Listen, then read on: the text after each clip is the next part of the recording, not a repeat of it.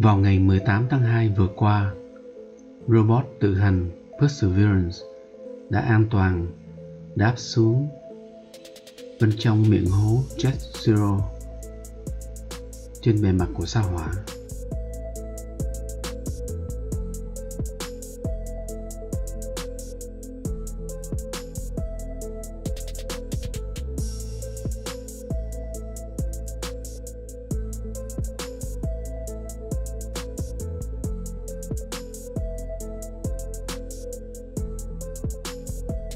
Chỉ vài giờ sau khi đáp xuống an toàn, robot tự hành Perseverance đã bắt đầu vận hành và chuyển về trái đất những hình ảnh mới nhất của sao hỏa.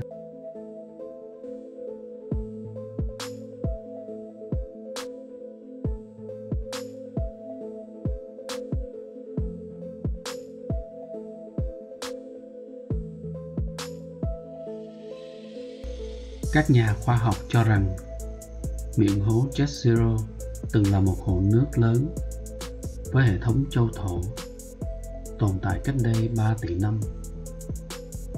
Nếu có nước thì có thể sẽ có sự sống. Họ suy đoán nếu sự sống tồn tại trên sao hỏa, nhiều khả năng miệng hố này có bằng chứng những vi sinh vật được hóa thạch. Hiện tại robot tự hành đang lăn bánh và liên tục gợi về cho chúng ta những hình ảnh mới nhất của sao hỏa. Các bạn đang nhìn vào lòng hố cổ xưa, nơi sự sống sao hỏa có thể đã từng sinh sôi nảy nở và phát triển.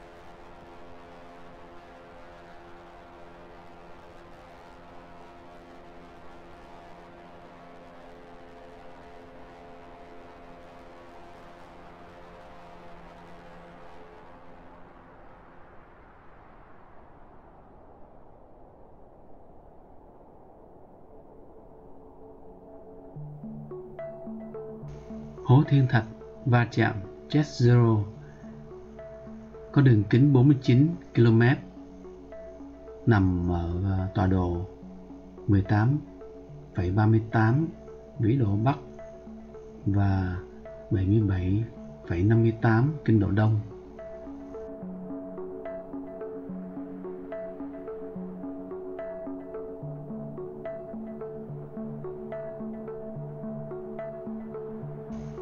Hai nghiên cứu mới nhất từ NASA đã phát hiện ra trên sao hỏa một khu vực chứa các khoáng chất silica hydrate hóa, một ờ, chất đặc biệt có giá trị trong việc bảo tồn những vi sinh vật được hóa thạch hay còn được xem là vết tích của sinh học.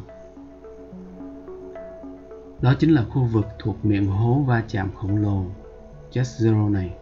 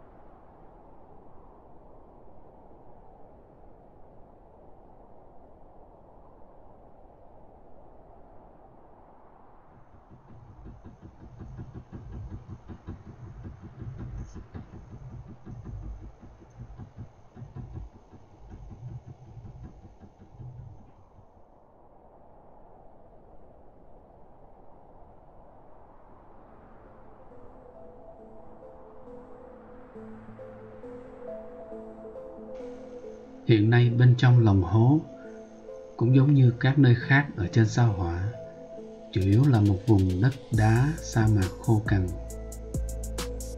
Nhưng khoáng chất được tìm thấy có thể là bằng chứng của một ốc đảo sự sống cổ đại hàng tỷ năm trước đây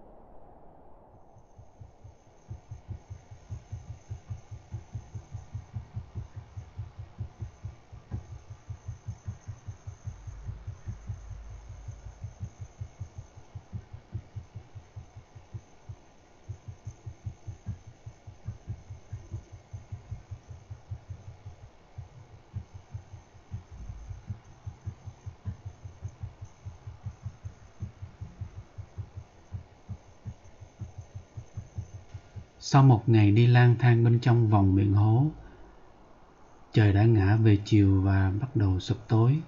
Nhiệt độ trên sao hỏa đã bắt đầu hạ xuống thấp, có khi trừ mấy chục độ C.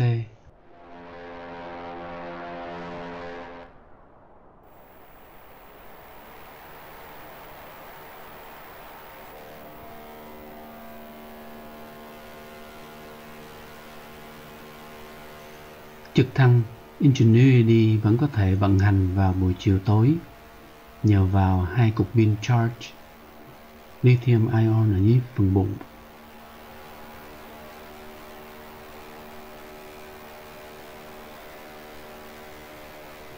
Nếu thử nghiệm thành công, Ingenuity có thể sẽ mở đường cho việc vận hành các máy bay trực thăng tối tân hơn, bay cao hơn và lâu hơn trong tương lai.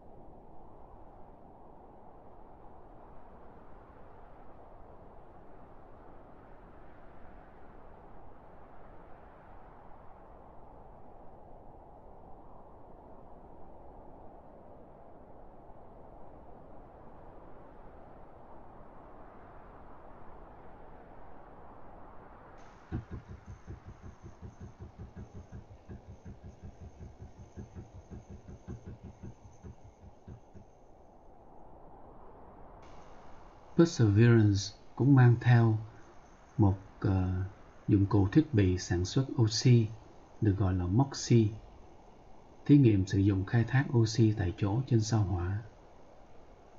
MOXIE sở hữu khả năng chuyển đổi carbon dioxide trong khí quyển sao hỏa thành dưỡng khí mà con người có thể hít thở được.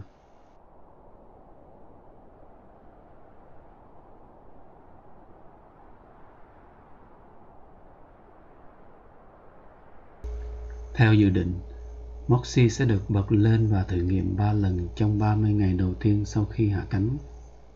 Hai lần đầu tiên để kiểm tra tải trọng. Trong lần chạy thứ ba, Moxie sẽ tạo ra oxy trong một số điều kiện vận hành bảo tồn.